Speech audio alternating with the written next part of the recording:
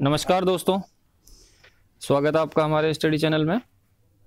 तो दोस्तों, आज ये वीडियो मैं आपके लोगों के लिए लेकर आया हूँ।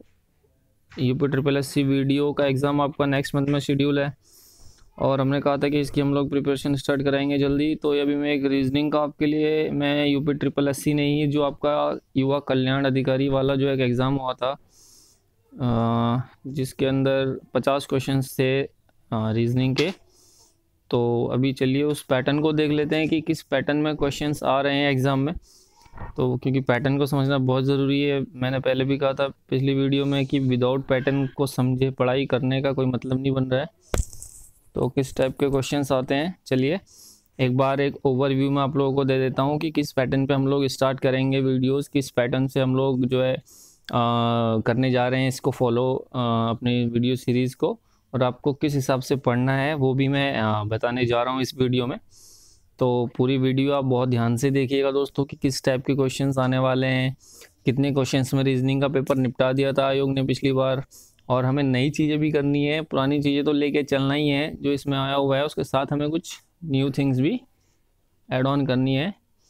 तो चलिए मैं आपको उस पेपर का जो युवा कल्याण अधिकारी वाला जो पेपर था उसके अंदर जो जो आयोग ने दिया था क्या क्या दिया था, एक ओवरव्यू आपको जस्ट देने जा रहा हूँ। यहाँ पे मेरे को सॉल्व करवाने या आपको एक एक वो सॉल्यूशंस में यहाँ पे आपको करवाने नहीं जा रहा हूँ फ़िलहाल। लेकिन मैं एक पैटर्न बताने जा रहा हूँ, जिस पैटर्न से हम लोग स्टार्ट करेंगे वीडियोस रीजनिंग की, कि किस तरीके से हम पर डे कैसे कैसे हमें करना है, कितने टॉपिक्स करने हैं अभी स्टार्टिंग में, और बाद में लेफ़्ट आउट जो चीज़ें रह जाएँगी अदर थिंग्स रह जाएँगी, वो भी हम लोग करेंगे। तो देखिए उस एग्ज़ाम में यूपी ट्रिपल एस सी नहीं कराया था ये एग्ज़ाम मैं आपको एक बार ओवरव्यू दे रहा हूँ।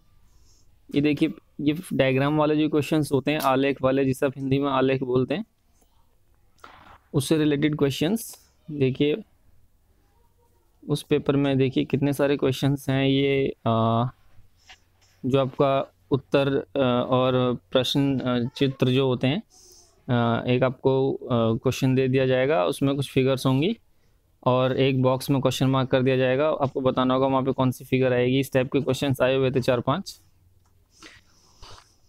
हाँ तो देखिए फिगर वाले चार पाँच क्वेश्चंस आएँगे या आएँगे।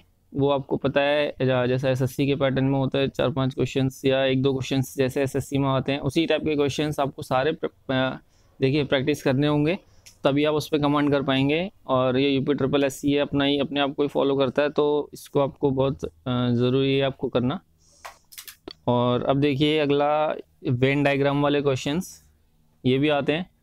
देखिए, ये वेन डायग्राम वाला क्वेश्चन है। आपको एक डाटा दे दिया जाएगा। एक वेन डायग्राम दे दिया जाएगा और कुछ डाटा बताया रहेगा उस वेन डायग्राम पे। उसके ऊपर आपसे क्वेश्चंस पूछे जाएँगे। ये भी मैं आपको कराऊँगा। इसके लिए आपको चिंता करने की ज़रूरत नहीं है। वेन डायग्राम वाला क्वेश्चन देखिए, मैंने इसमें एक ही क्वेश्चन दिया हुआ है इसका। क्योंकि मेरे को खाली आपको ओवरव्यू देना था। इसके भी चार पाँच क्वेश्चंस थे। इस बैंड डायग्राम पे पाँच क्वेश्चंस पूछे थे उन्होंने। जैसा आपका डेटा इंटरप्रिटेशन होता है, उसमें पूछता है ना तो उसी तरीके का वेन के ऊपर था। ये देखिए डिस्टेंस वाले क्वेश्चंस पूछता है डिस्टेंस और डायरेक्शन दूरी और दिशा वाले। देखिए इसमें दिया हुआ जैसे नीलिमा अपने घर से प्रारंभ करके उत्तर की ओर एक मंदिर में जाती है, उसके बाद बाएँ मुड़कर सीधे बराबर दूरी पर चलती है, बाज़ार से कुछ खरीदारी करती है, वहीं से फिर बाएँ मुड़कर चलती है, पुस्तकालय पहुँचने के लिए उतनी दूरी तय करती है। तो देखिए, ये पूरा आपका डिस्टेंस और डायरेक्शन का क्वेश्चन है, दूरी और दिशा का। इस टाइप के क्वेश्चंस भी थे उसमें। दो चार क्वेश्चंस पूछे थे इसके भी। अभी देखिए जो एक एलेवंथ क्वेश्चन है। ये देखिए सेटिंग अरेंजमेंट जो कि बैंकिंग का पैटर्न है, उसके ऊपर भी क्वेश्चन आया हुआ है। सिटिंग अरेंजमेंट का छोटा सा क्वेश्चन है, लेकिन हाँ आया हुआ है। सिटिंग अरेंजमेंट से भी एक दो क्वेश्चन थे उसमें। ये देखिए फिर से आ गया डिस्टेंस वाला क्वेश्चन ये देखिए सिटिंग अरेंजमेंट और ये देखिए कथन और निष्कर्ष वाला जो है, ज़रूर आता है। आपको एक कथन दे दिया जाएगा, उसमें से फिर निष्कर्ष निकालना होगा। तो इस टाइप के क्वेश्चंस काफ़ी थे। मैंने काफ़ी क्वेश्चंस देखे, चार पाँच क्वेश्चंस देखे इस टाइप के। आपको एक विवरण दे दिया है या कोई कथन दे दिया है, उसके ऊपर आपको जो है वो बताना है। कि क्या निष्कर्ष निकलेगा? जो जो सेंटेंस में निष्कर्ष निकल रहा है, वो आपको सेंटेंस सेलेक्ट आउट करने होंगे यहाँ पे। नेक्स्ट देखिए, ये जो है, यदि शहद को चॉकलेट कहा जाता है चॉकलेट को शुगर कहा जाता है या शुगर को जॉय कहा जाता है और जॉय को स्वतंत्रता कहा जाता है तो कोको बीन से निम्नलिखित में से क्या बनता है? देखिए, ये कोडिंग डिकोडिंग का क्वेश्चन है। ये बिल्कुल कोडिंग डिकोडिंग का क्वेश्चन है। इस टाइप के बहुत क्वेश्चंस थे, तीन चार क्वेश्चंस थे। मतलब एक तरह की कोडिंग पे तीन चार क्वेश्चंस ऐसी दो तीन टाइप की कोडिंग्स पे मिला के दस बारह क्वेश्चन दिए हुए थे। इन्होंने पेपर में बहुत पूरा पेपर ही कोडिंग डिकोडिंग से भर दिया था। कोडिंग डिकोडिंग बहुत अच्छे से करना है, बहुत इंपॉर्टेंट टॉपिक है। ये टॉपिक भी मैं कराऊँगा आपको कोडिंग डिकोडिंग का। देखिए अगला, उस विकल्प का चयन करें जो सबसे वैसे संबंधित है, जैसा दूसरे शब्द प्रथम शब्द दूसरे से संबंधित है। देखिए ये ये जो इसको आप बोलते हैं एनालॉजी ठीक है ना? एनालॉजी इसको बोलते हैं हम लोग। तो एनालॉजी से भी काफ़ी क्वेश्चंस थे दोस्तों बहुत सारे क्वेश्चंस थे। आ, तीन चार क्वेश्चंस तो रहे ही होंगे। देखिए फिर से कोडिंग डिकोडिंग का क्वेश्चन किसी कोड भाषा में रिदम को ये लिखा जाता है I S B G S N के रूप में कोड किया उस भाषा में ड्रम को कैसे कोड किया जाए। देखिए एक पैटर्न दिया हुआ है उस पैटर्न पे हम लोग कोडिंग करते हैं। तो कोडिंग पूरी अच्छी तरीके से मैं करवाने वाला हूँ। सबसे फ़र्स्ट वीडियो में सोच रहा हूँ कि कोडिंग डिकोडिंग से शुरू किया जाए, क्योंकि काफ़ी क्वेश्चन थे। मैं दो तीन लेक्चर्स में या दो लेक्चर्स के अंदर ही ख़त्म करने की कोशिश करूँगा, पूरा का पूरा आपको कोडिंग डिकोडिंग तो लोग, आप लोग कमेंट सेक्शन में आप लोग बताएँ टाइप करके कि क्या मुझे कोडिंग डिकोडिंग ही स्टार्ट करना चाहिए सबसे पहले।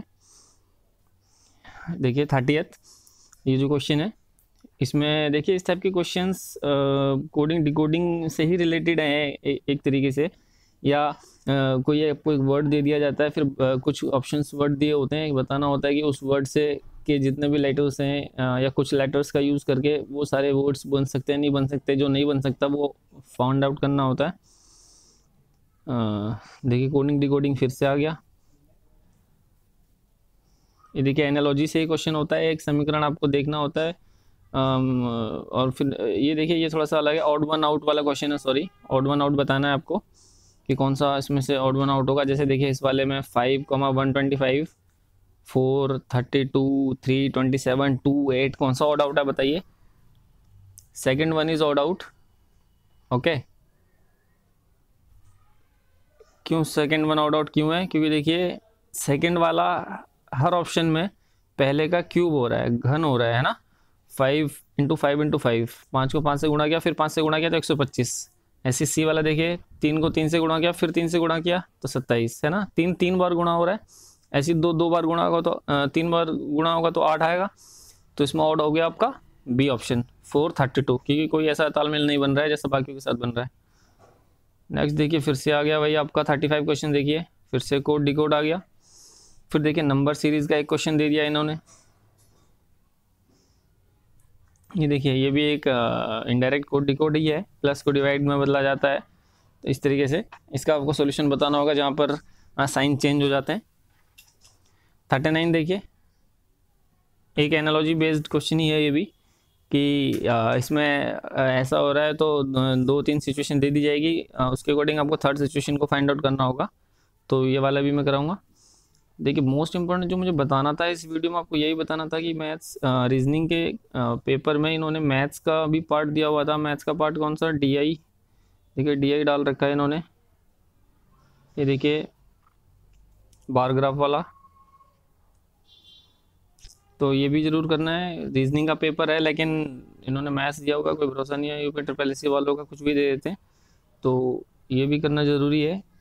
इसलिए मैंने आपको बताया कि मैथ्स भी है इसके अंदर। आप ये ना सोचें कि मैथ्स नहीं आएगा। मैथ्स है आपको कैलकुलेटिव डी आई बेस्ड जो है वो करना रहेगा आपको निष्कर्ष निकालना रहेगा। डी आई निष्कर्ष ही निकालना होता है उसमें। देखिए पाई चार्ट वाला भी आया हुआ है। क्वेश्चन ये देखिए। तो ये नहीं सोचना है। देखिए मैंने पूरा ओवरव्यू दे दिया आपको पूरे पचास क्वेश्चंस का। आ, कि आठ दस मार्क्स का डीआई ही था उसमें। और बाकी बैलेंस चालीस मार्क्स का था जो आपका वो रीजनिंग का पार्ट था तो इसमें भी ऐसे ही हो सकता है बिल्कुल। वीडियो वाले पचास क्वेश्चन में सेम बिल्कुल ये कंडीशन हो सकती है तो हम लोग डीआई भी करेंगे। तो मैं आ, कल से इस पर स्टार्ट कर रहा हूँ वीडियोज़ आपके लिए और पहली वीडियो मैं सोचता हूँ कोडिंग डिकोडिंग के ऊपर ही बनानी चाहिए क्योंकि दस बारह क्वेश्चंस देखने के लिए मिले थे उसके ऊपर। तो अभी देखिए मैं आपको एक ओवरव्यू देता हूँ कि आ, कितने जो है टोटल टॉपिक्स मैं ख़त्म कर दिया यूपी ट्रिपल एस ने इस पेपर को। सिलेबस बेस्ड ऑन युवा कल्याण अधिकारी एग्ज़ाम तो देखिए आपको फिगर बेस्ड डायग्राम थे इसमें आरेख जिसे आप बोलते हैं हिंदी में। वेन डायग्राम से क्वेश्चन था डायरेक्शन एंड डिस्टेंस से था दूरी दिशा से। सिटिंग अरेंजमेंट जिसे आप बैंकिंग में आ, करते हैं मोस्टली लेकिन अब पैटर्न बदल रहा है तो स्टेट वाले भी अपना रहे हैं। यानी बैठने की जो व्यवस्था है, बैठक व्यवस्था सिटिंग अरेंजमेंट इसके क्वेश्चन स्टेटमेंट कंक्लूजन कथन और निष्कर्ष, है ना? कोडिंग डिकोडिंग मैंने अभी बताया कोडिंग डिकोडिंग के बहुत क्वेश्चंस थे, बहुत इंपॉर्टेंट टॉपिक है। नेक्स्ट एनालॉजी समानता के हिसाब से आपको जो सिमिलर और डिसिमिलर है, वो आपको बताना होगा। Odd one out number series जी हाँ नंबर सीरीज़ का एक क्वेश्चन था तो हम लोग इसको भी करेंगे। डेट इंटरप्रिटेशन सबसे ज़्यादा टाइम इसी पे लगने वाला है डीआई पे। तो डीआई भी रहेगा आपका। आ, मैं कराऊँगा बिल्कुल कराऊँगा। तो मैं लेकिन सबसे पहले सोचता हूँ कोडिंग डिकोडिंग आपको कराया जाए। आपको क्या लगता है इस पर आप मुझे ज़रूर कमेंट सेक्शन में बताइए कि कोडिंग डिकोडिंग से हमें स्टार्ट करना चाहिए। आ, या कोई और टॉपिक उठाना चाहिए डीआई पहले उठाना चाहिए। आप जैसा कहेंगे उसके हिसाब से हम लोग इसको स्टार्ट करते हैं। तो जो टॉपिक आप कहेंगे, वो टॉपिक से स्टार्ट करते हैं। कल से इसके ऊपर हम लोग अपना जो ये मूवी में कंटिन्यू करते हैं UP triple S VDO exam की। तो ये मैंने आपको व्यू दिया है, आपको इसी के पैटर्न आप स्क्रीनशॉट ले लीजिए इसका। और लग जाइए अभी इसके ऊपर कि किस टाइप का जो है एग्ज़ाम रहने वाला है। बिल्कुल ही एग्ज़ाम मिल सकता है आपको देखने के लिए, क्योंकि वीडियो में काफ़ी लोग अप्लाई किए हैं तो वो ज़रूर आयोग कुछ ना कुछ अपना तिकड़म दिखाएगा इसमें आपको पैटर्न जो है बिल्कुल यही रख सकता है यही नहीं आठ दस टॉपिक्स पे ख़त्म कर सकता है और या नए टॉपिक्स भी ऐड कर सकता है मैं ये नहीं कहूँगा नहीं दे सकता नए टॉपिक्स हो सकता है सिटिंग अरेंजमेंट किसी दूसरे टाइप का दे दे या आ, या कोडिंग डिकोडिंग ना दे कि किसी और की मात्रा ज़्यादा कर दे क्वेश्चंस की तो बिल्कुल कर सकता है वो उसको आ, कुछ नहीं कह सकते आप आ, आपको अपनी तैयारी करनी पड़ेगी। और आज की वीडियो, चलिए यहीं दोस्तों ख़त्म करते हैं। और मैं इस पर भी वर्क कर रहा हूँ कोडिंग डिकोडिंग मैं कल पहला लेक्चर डाल दूँगा। बेटर रहेगा या नहीं रहेगा कोडिंग डिकोडिंग करना? आप मुझे आज बता दीजिए, फिर उसके अकॉर्डिंग हम लोग उसको चेंज कर लेंगे अगर आप लोग कहेंगे तो।